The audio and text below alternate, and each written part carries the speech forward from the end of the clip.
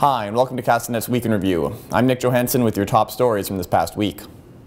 Following a seven-day hearing in March, a BC Supreme Court judge ruled Friday that Robert Riley Saunders admitted fraud against the Ministry of Children and Family Development directly deprived some of the youth in his care of funds that they were entitled to.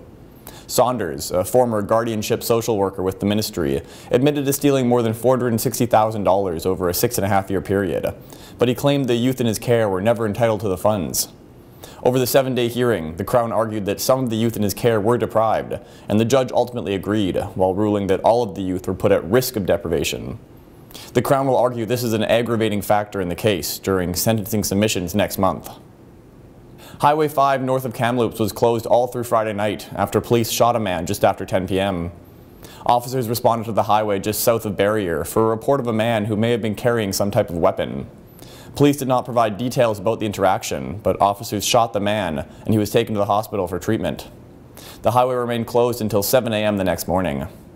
The Independent Investigations Office is now investigating the shooting. With cooler temperatures across the province this spring, snow has been falling at higher elevations.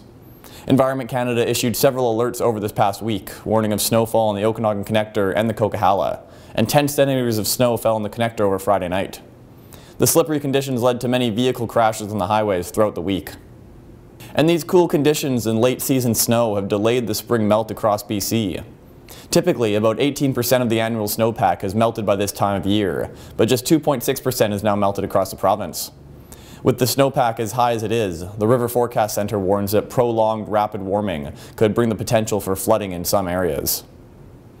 And the Penticton Vees are officially the top team in the BCHL after winning the Fred Page Cup Wednesday night.